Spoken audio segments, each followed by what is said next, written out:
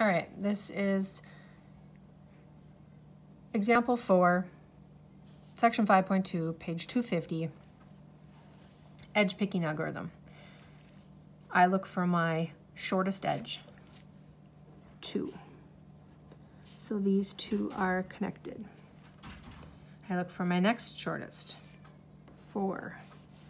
So these two are connected. Now this one is used twice, so I'm gonna circle it so I don't go there again. My next shortest is five. I have two of them. It doesn't matter which one I pick. I'm gonna pick this one.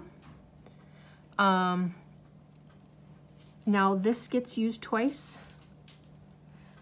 I go back to my other five. I can still use this. Now this one gets used twice. My next shortest is six. I can't use this six because this one's already used. I can use this six. Now this one is done. So I have four that are done, and now that I have four that are done, I have to choose my last edge to close the circuit. So once you get here, it doesn't matter. This is my this is my circuit that I got using the edge picking algorithm. Um, it does not matter which letter I start with.